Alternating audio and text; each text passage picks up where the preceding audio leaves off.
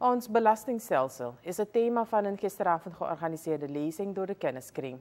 De gastsprekers waren de bedrijfseconoom Anand Bihari, die inging op belastingen in het verleden en heden, en de fiscaal jurist Roy Reiger, die het had over tekortkomingen en aanbevelingen. De lezing was naar aanleiding van de bruto toegevoegde waarde BTW-belasting die de regering wil introduceren. Volgens de kenniskring vraagt een nieuwe belastingwet invoeren wel om een rechtvaardiging. Ze vraagt zich daarom in gemoede af of onze economie deze nieuwe belastingwet kan dragen en welke economische effecten daaruit kunnen ontstaan.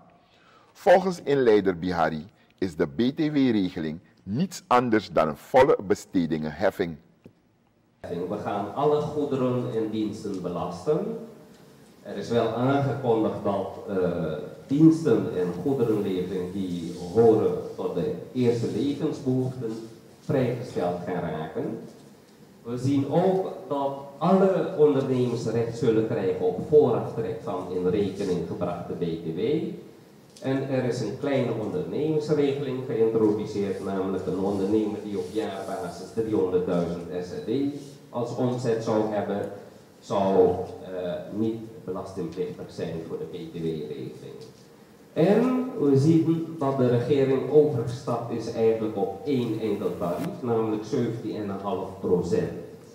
Er is geen andere differentiatie.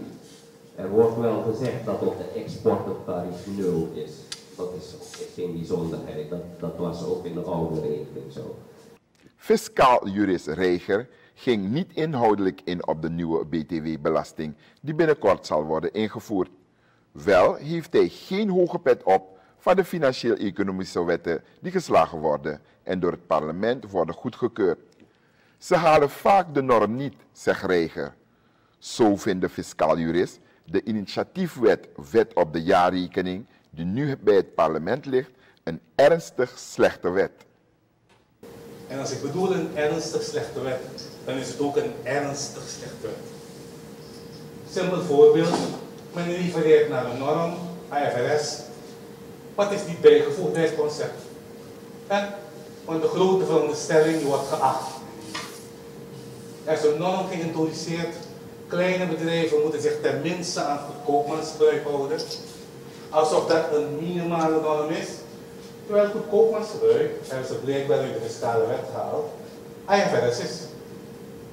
Want is open norm. Het volgt maatschappelijke ontwikkelingen. Dus dat de maatschappelijke ontwikkeling dwingt tot IFRS, dan is goedkoopmansgebruik IFRS. Maar nu komt het internationale accounting standards. Maar nu, het gevaarlijke, hè? Want dan regelt, het men, dan regelt men dat in de wet op de jaarrekening. En dan heeft men niet door dat men zich ernstig in de vingers snijdt wat het budgettaire betreft. Fiscaal jurist Roy Reiger. Hij sprak gisteren in het Lararoek-gebouw. Samen met de bedrijfseconoom Anand Bihari verzorgde hij een lezing met als thema ons belastingstelsel.